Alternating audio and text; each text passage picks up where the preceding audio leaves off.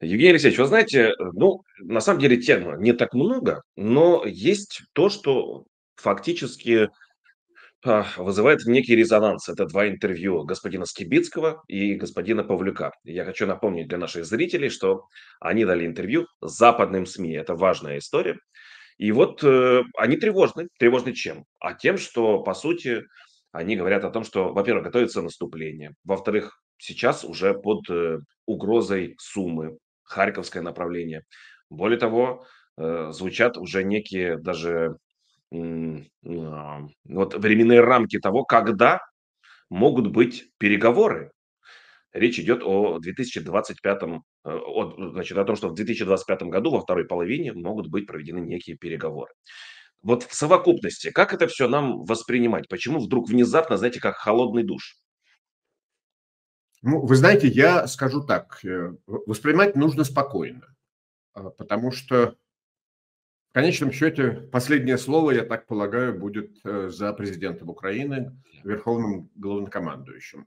А что касается конкретики вот в этих, э, 2 интервью, ну, давайте так, не нужно, мне кажется, впадать, в, какую-то волнение в какое-то там, не дай бог, истерика. Э, мы знали прекрасно, что наступление, скорее всего, начнется в мае-июне. Тому есть, э, объяснимые причины. Дело в том, что широкомасштабное наступление возможно тогда, когда земля просохнет. Наступать, э, по весенней распутице- это чуточку сложно. Поэтому ни для кого не должно быть, на мой взгляд, э, никаких удивлений, что да, в конце мая, в начале июня, э, российская армия, накопив, э, сил, возможно в мае месяце начнется какая-то мобилизация. Я этого лично не не исключаю, потому что уже всё. Путин в результате вот этих самых так называемых выборов 17 марта заступает на новый срок. 7 мая это произойдет. И после этого, ну, возможно, будет сформировано новое правительство, возможно, будут какие-то перестановки. Но дальше, в общем, нет никаких проблем принимать непопулярные решения. Да собственно, он и сейчас-то не особенно задумывается над тем, что, э, армия несет большие потери. Я не знаю, видели вы, меня потрясло вот это вот видео, которое появилось, э, я не помню, вчера или позавчера, когда, э, российский солдат идет по того, что осталось от, э, лесополосы, раздолбанный по лесополосе идет 400 с чем-то метров, и считает, показывает трупы погибших, российских военных. Но я допускаю, что потери могут быть еще большими. Как говорится, патронов и солдат не жалеют там. Что еще? Переговоры. Ну, вполне вероятно, что ситуация поменяется ко второй половине 2025 года в какую-то иную сторону. Возможно, что могут быть какие-то переговорные процессы. Давайте не будем путать переговорные процессы и переговоры. Это все-таки разные вещи. Это зависит от того, какая будет ситуация на фронте. Будет ли продолжаться западная помощь, в каком объеме. Вот э, министр иностранных дел Великобритании Кэмерон сказал, что они, британцы, готовы вне зависимости от э, континентальной Европы, вне зависимости от Соединенных Штатов, продолжать э, поддерживать Украину в размере 3 миллиардов фунтов в год. Это большая сумма. Я думаю, что многое зависит от того, как поведет себя континентальная Европа, страны-члены Евросоюза и союзники Соединенных Штатов э, по НАТО, и как э, поведет себя Америка. Понятно, что это зависит еще от э, исхода выборов в ноябре. Хотя, опять-таки, я бы не торопился с выводами и не говорил бы, что, ну, если победит вдруг Трамп, то точно американцы перестанут помогать Украине. Не факт, посмотрим. Так что, в общем, никаких неожиданностей я не вижу. Откровенные интервью, которые, наверное, соответствуют действительности. Мы понимали, что, в частности, может быть наступление в Харьковской области, мы понимали, что может быть наступление там дальше на северо-востоке в Сумской области. Это не означает, что российская армия попытается захватить Харьков или Сумы, потому что для захвата больших городов нужно гораздо больше сил, гораздо больше сил, гораздо больше военной техники, оружия, боеприпасов. Э, и все прекрасно понимают, что миллионный город Харьков э, взять э, русские не смогут. Но ситуация сложная. И слава богу, что находятся люди, которые честно говорят о том, насколько она непростая. Повторяю, это не должно стать, не дай бог, каким-то поводом для паники. Ну и потом, вы знаете, я всегда Просто опыт мне подсказывает, что хорошо бы, конечно, посмотреть на прямую речь. Да. Потому что частенько бывает так, что в процессе интервью, последующего перевода теряются какие-то нюансы. Да. Ну, вы знаете, вы вспомнили э, о господине Кэмероне, и вот э, я так полагаю, что его риторика выходит уже за рамки традиционной. Ну, по крайней мере, потому что теперь, как сообщает Reuters, британское оружие, которое сейчас на балансе у Украины, может быть использовано на территории Российской Федерации, поражать объекты исключительно на территории Российской Федерации. Насколько это серьезная история, как вы считаете? Как Россия отреагирует? Что это может изменить? Ну, послушайте, на самом деле мы видим, что Украина использует те или иные виды оружия. Мы не знаем точно какие для нанесения ударов э, по российским НПЗ. Говорят, что туда летят дроны. Э, но, скажем, мы же не знаем точно, например, по мысу Тарханкут, э, чем именно ударили ВСУ. Здесь есть много нюансов. Но я полагаю, что с точки зрения международного права Украина имеет все основания в ходе войны э, наносить удары по военным объектам противника, по военным объектам агрессора, э, по тем объектам, которые обеспечивают э, жизнеспособность российской армии. Это могут быть и железнодорожные узлы, и склады с оружием, и районы, где концентрируется личный состав, учебные базы, учебные центры и так далее. Все это легитимные цели. Э, и Кэмерон, насколько я понимаю, подчеркнул, раз Россия наносит удары по территории Украины, то Украина имеет полное право отвечать. Как, как реагируют э, русские? Ну, господи, опять будет какая-нибудь истерика. Опять э, Медведев там будет грозить ядерным оружием. Может быть, даже сам Путин что-то скажет. Э, я не знаю. Мария Закарова наверняка разразится какими-нибудь тирадами. Наверняка истерика будет у ведущих э, еженедельных ток-шоу, которые вот сейчас выйдут в эфир там в субботу, в воскресенье. Ничего нового. Ну, я не знаю, как у вас, Евгений Алексеевич. Вот у меня складывается такое впечатление, что щупает почву. Да, длительно и очень долго это все происходит. Вот уже два с лишним года, по чуть-чуть, понемножку. Закройте небо. Нет, не закроем. Дайте Хаймерс. Нет, не дадим. Дайте в 16 Забудьте, пожалуйста, об этом. Понемногу это все проходит. Сейчас мы уже доходим до того, что Эммануэль Макрон говорит, если Киев попросит, мы будем думать над тем, чтобы ввести войска. К чему это все ведет, как вы считаете? Это ведет, я надеюсь, к тому, что Украина будет в дальнейшем получать э, большую помощь и поддержку э, со стороны ее западных союзников, со стороны э, стран Европы и Америки, которые ее поддерживают. Понятно, что они, как тот мужик, долго запрягают, но потом, я надеюсь, ехать будут шибко. Вы знаете, в этой связи хочу обратиться к вам с таким вопросом. Он банален, конечно, но между тем меня это подталкивает, да, вот эти в совокупности все события. У меня такое впечатление, что конфликт НАТО и России, он, он уже неизбежен. То есть, что бы ни происходило, он неизбежен. И это понимают две стороны, обе стороны. Как думаете вы? Ну, конфликт, собственно, уже происходит.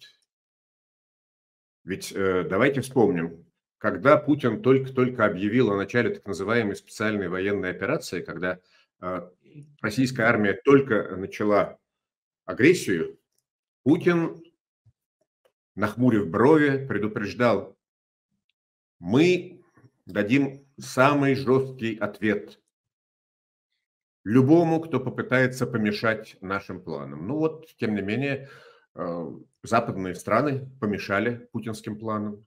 Да. И сразу нас стали поставлять э, оружие. Сначала легкое, потом тяжелое. Сначала артиллерию, потом ракетные системы залпового огня, потом и танки. Сейчас уже речь идет о самолетах, о дальнобойных э, ракетах типа «Атакамс». Понятно, что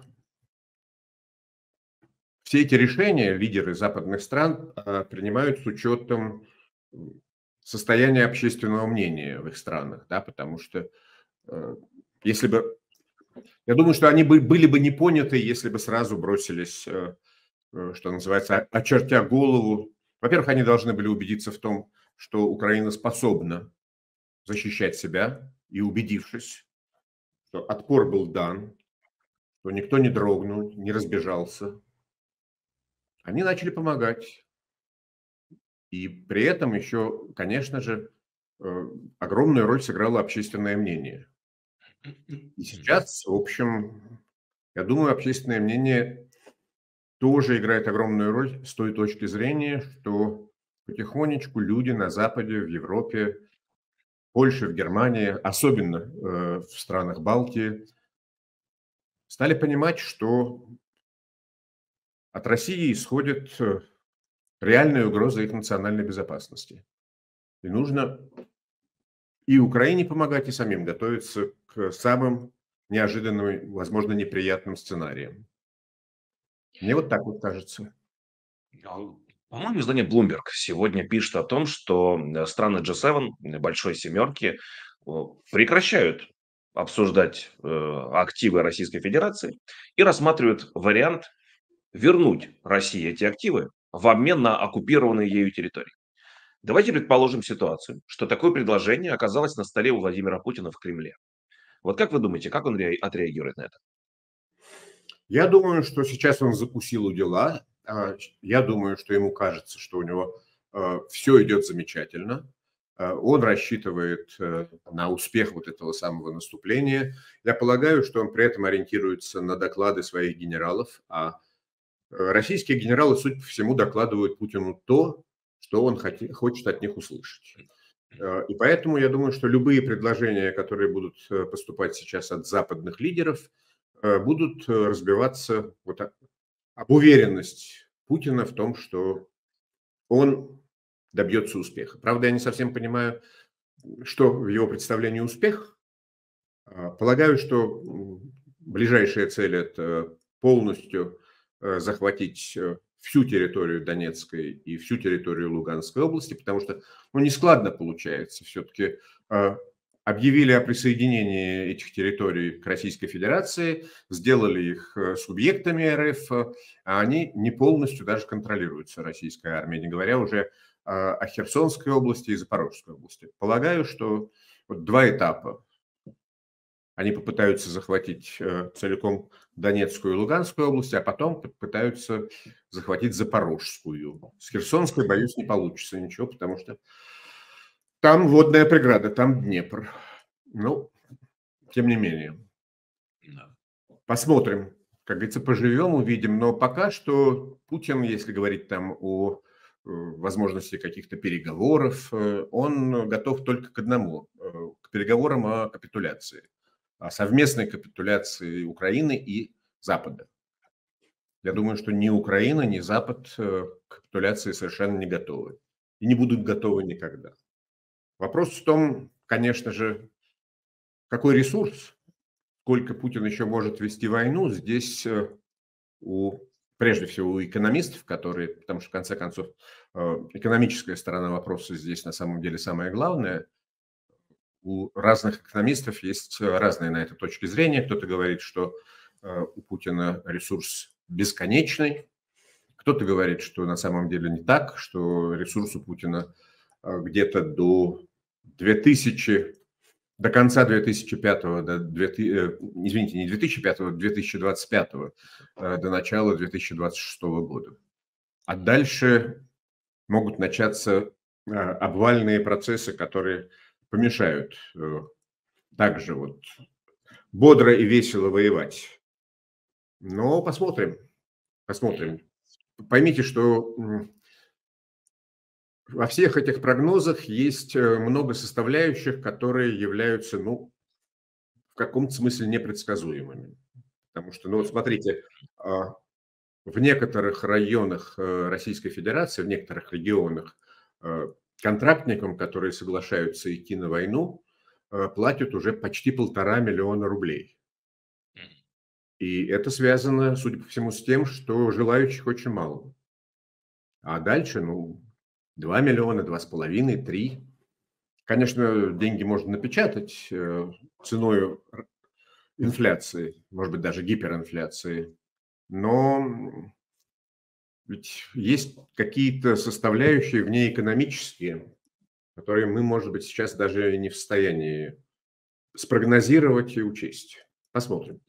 Да, безусловно, но я полагаю, что я тоже не, я не экономист, но эти деньги откуда-то ведь нужно брать. И вот я сегодня утром прочитал замечательную, как по мне, новость о том, что, знаете, 2023 год, Путин, Газпром чувствует себя уверенно.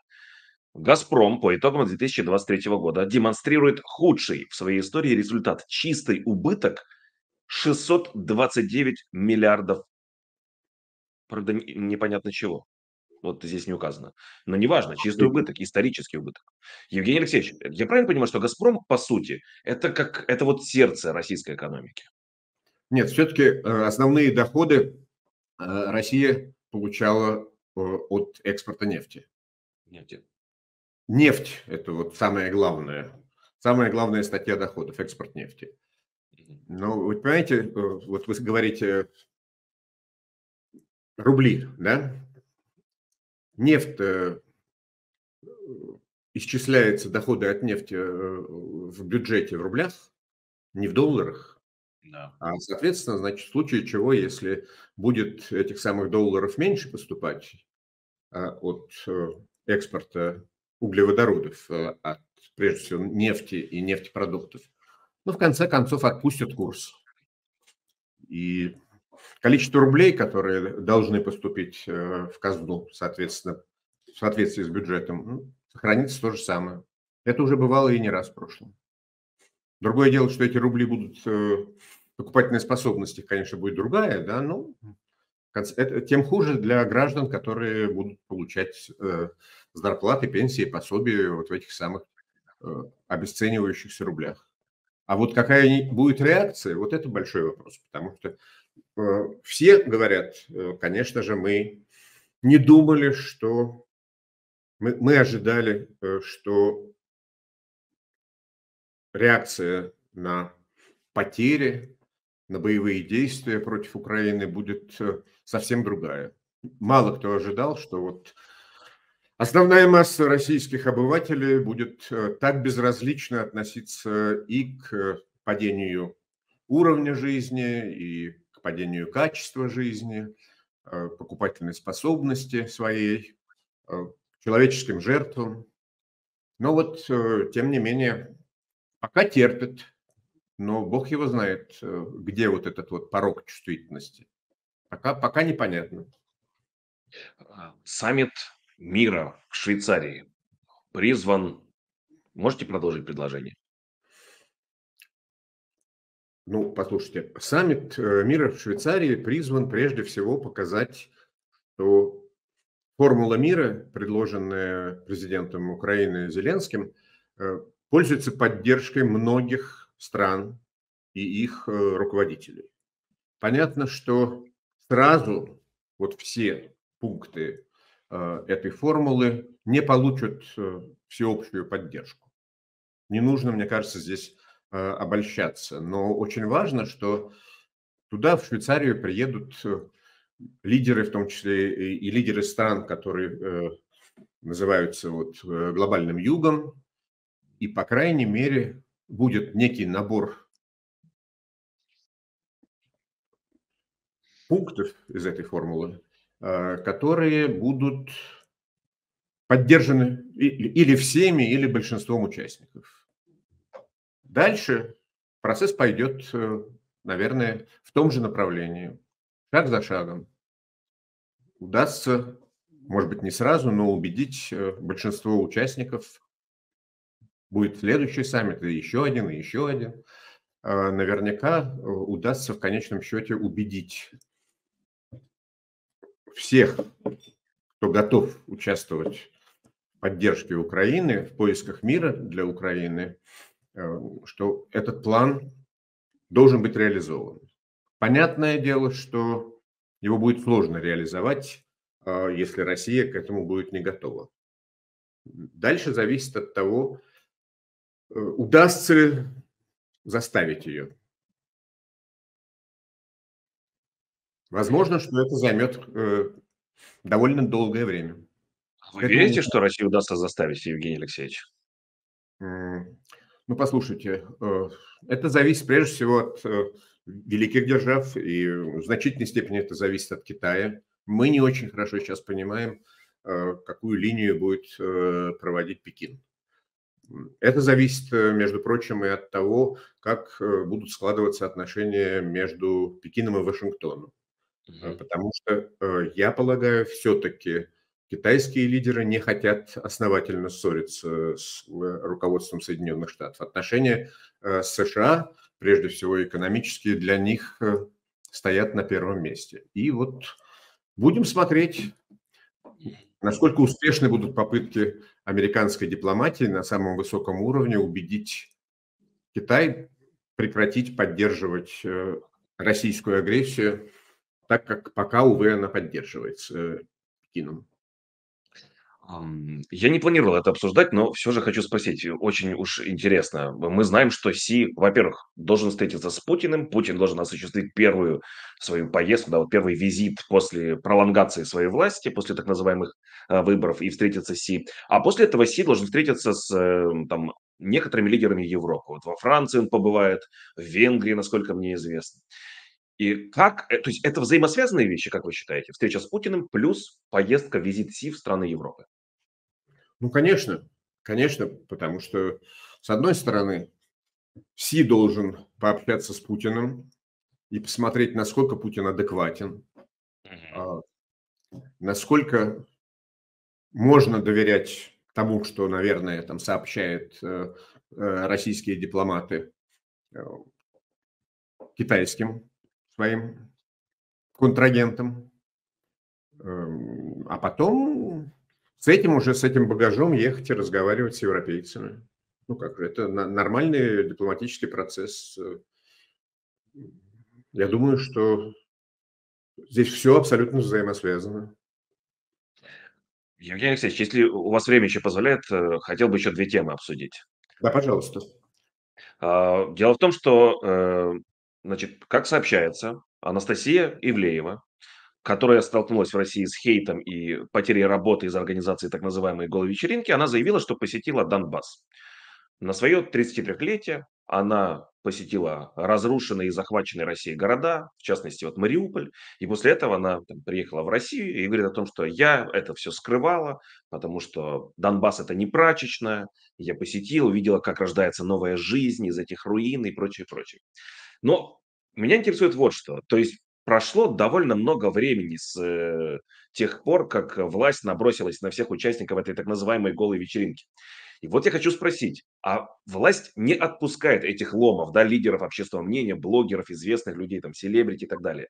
Почему? Потому что им важно держать их в узде, чтобы они ретранслировали ту политику, которую проводит власть, или есть какие-то другие причины?